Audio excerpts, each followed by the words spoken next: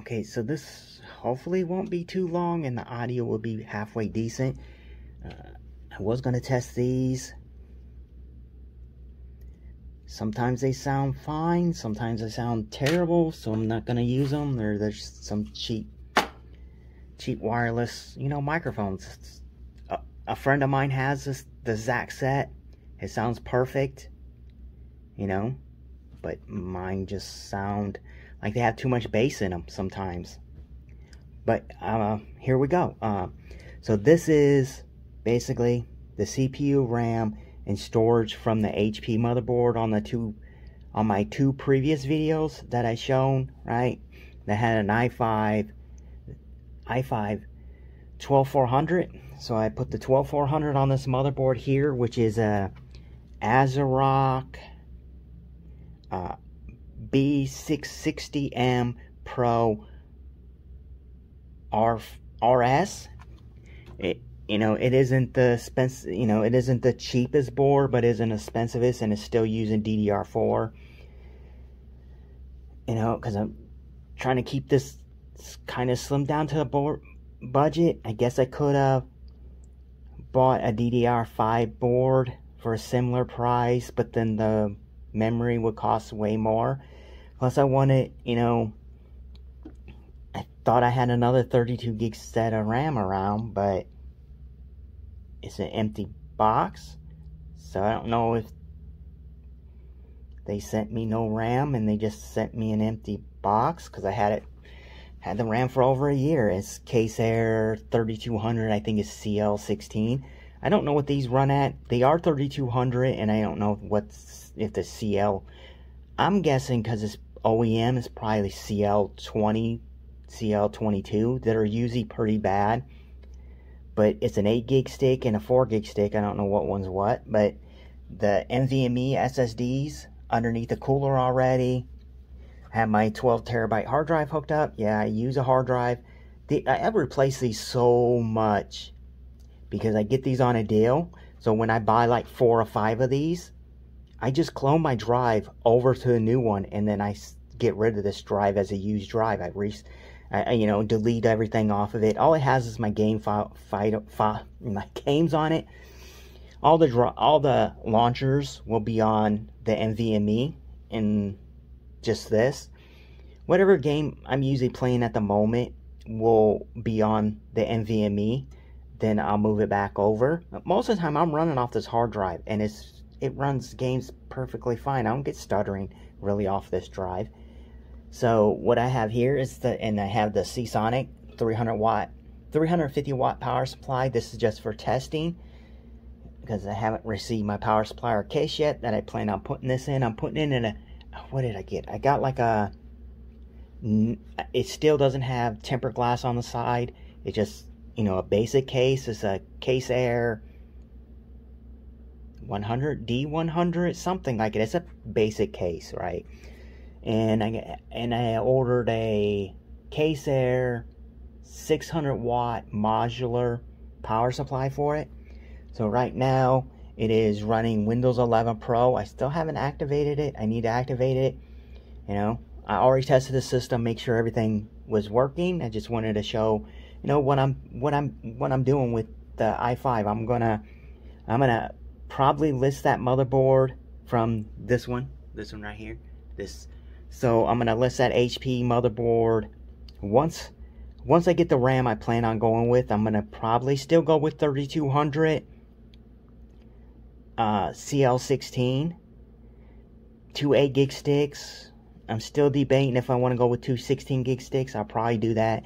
But I, I planned on if I can get my hands on a, some more uh, 3060 Ti's like I was getting back in November. I was paying like the lowest one I paid was under 120 $225 shipping and all. And then the most I spent was like $250 with shipping. So to my door, 250 or 125 if I can find that range, but seems like all of them are on eBay and locally they want more than they're worth locally. So if I decide to buy one now, the cheapest ones if unless eBay isn't showing me all listings, I, I, I, I could see that happening. But right now, I can't. It, oh, it's like $280 for a 3060 Ti. For like $9 more or 10 I can just buy a 4060. Just a little bit more. Like, yeah, the 4060 it, in my benchmarks is a little bit slower than the 3060 Ti, but it's a brand new card with full warranty. Unlike buying the used one, and I saved $10, $20, N no warranty probably on it. Or I'll go with something like an AMD 7600. I'm thinking that route. But right now, it just, this configuration here, I might, you know, yeah, well, I'm going to. I'm going to test it with, with the other video card I have, that 60, that 6400 from AMD, the RX 6400 4 gig card. Because I had that, you know, in this system here, and I have this system up for sale now. So, yes, sir hit this switch and turn this on and see what we happen. So I do have a power button on, you can see. Has RGB on it. So here we go. I do need to go through the BIOS and like configure it more. I, I don't know if this even running at 3200 and it, it, it gives a little cursor so it's trying to it's, it's trying to boot from this first and then from the NVMe. So I need to go in and tell it what it needs to do, configure the, yeah, you know, obviously configure the board to get the RAM. It's, this OEM should be just default at the 3200. As you can see here, it boots up, everything's good. That's why, know, this is that clone of my main, main system, right? Well, my, my gaming drives main system, right? So you see here, that's from Resident Evil 7, I think. Uh, that's the screenshot I did. So go get the CPU up. So you can see here, it's an i5 2400. Okay, there's a 12 gigs of RAM because it's got a an 8 gig and a 4 gig. And it is running at 3200. I don't know what the CL, I need to check that out sometime and here's my 12 terabyte. Oh excuse me 12 terabyte hard drive. Here's a model of the NVMe SSD you see the size there? And here is the integrated graphics.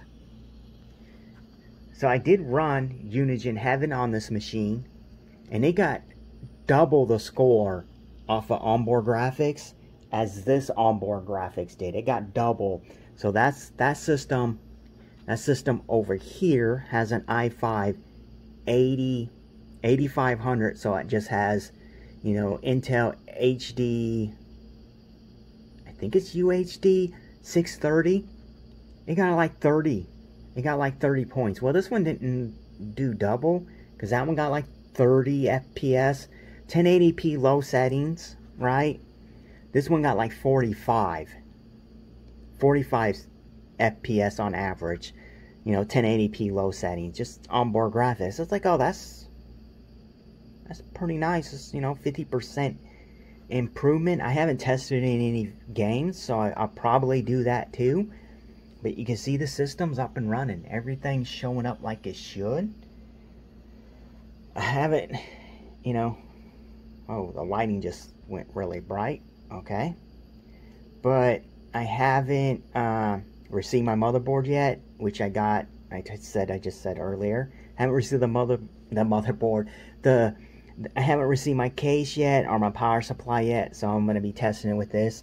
Uh, this these power supplies are fine. They work really good. It's Seasonic. It's a good brand. You know, it's not cheap. It's not soup. It's not even light. This is a pretty hefty weight. You know, I'm not going to be running a high-end video card off of this.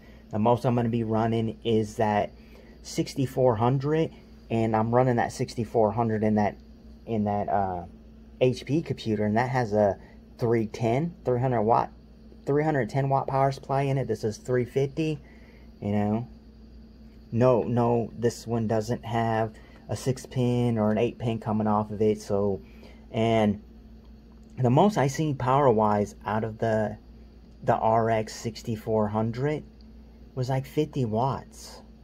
So the system is going to be pretty efficient. And yeah, I don't, I'm going to probably put it in another case I have, but I can't put the side panel on it because this cooler's way too big to fit in a, you know, a standard case. You know, you got to make sure you, you check what the max, you know, height or width of this cooler is because it's, this is a 120 mil. The center one is a 140 so yeah, it seems to work pretty good. Brand new cooler on here. Yeah, I guess that's the end of me testing it. I'll probably do another video once the other stuff comes in. Yeah, the other stuff is used. It's a used case, used power supply, and it, you know it's coming from Goodwill.com, so you'll see that video up and post it. So it's the system looks like it has a stock cooler on it but as an i5, was it uh, 4690K? Yeah, a 40, yeah, it has a 4690K, 16 gigs of RAM. It looks like it just has two 8 gig sticks of RAM in it. So obviously 8 and 8, 16. Then it has a 1 terabyte hard drive, no video card, and then, you know, the Corsair uh, case and the Corsair power supply. It's modular, supposed to have all the cables in it. So I'm going to transplant that stuff into a different case. And then I'm going to use that case and motherboard. The case and motherboard. I keep saying motherboard. The case and the power supply for this system. And then, yeah, since the power supply is basically pretty new, then I have a decent system right here. And I'll probably test this for a couple months and then I'll probably sell it like I always do you know? Like I have two higher end systems and I don't need a system you know like this. This is like 12th gen. I have a 13th gen I the you know i9 13900K that's my work system. Well the system I use for work. So then I have a whole bunch of other parts to build another work computer. So when I'm done building the work computer, I'm still waiting on my video cards. So yeah, it's just, just a wait on that system. So I still can't undo my work system to turn that into my gaming system. But yeah, this is going to be like the system I use for a while for my lower end games. Something that doesn't need you know, like I have a 1080p monitor, so I don't need nothing super high end. Yeah, I don't need nothing super, super high end. This is plenty of fine. Matter of fact, most of the games I play, let's take this off here, run perfectly fine on on this system right here, which is the i5 8400, 16 gigs of RAM. Right now it has 120 gig SSD in it and a 2 terabyte hard drive but I did have the uh, a 512 gig NVMe and my 12 terabyte hard drive set up in here. Well, a different 12 terabyte hard drive than the one over there. So, and the AMD RX 6400s in this system now. This, you know, I, I play, I, you know, on this system I was playing Division 2, Fortnite, Fortnite Save the World, uh, Bioshock, you know, older games, and it played perfectly fine with this system. You know, like Fortnite medium settings, I was getting about 60. I, I capped it at 60 because it did have a lot of stuttering in it if I didn't have it capped at 60. But I'm not going to make this too, too long. Like I said, this system is basically getting replaced by this custom build system when this system right here does a purpose of what I wanted to do perfectly fine. This will do it fine too, even if I put the video card from that, that HP into here.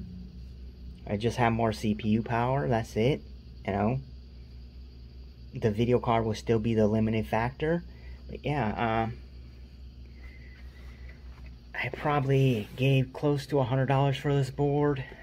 So that's all the money I have into it so far and the cooler obviously. And I got a deal on the cooler that's why I bought it. Yeah. I think it's a good deal myself.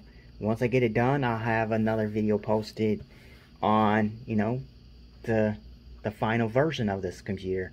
So thank you for watching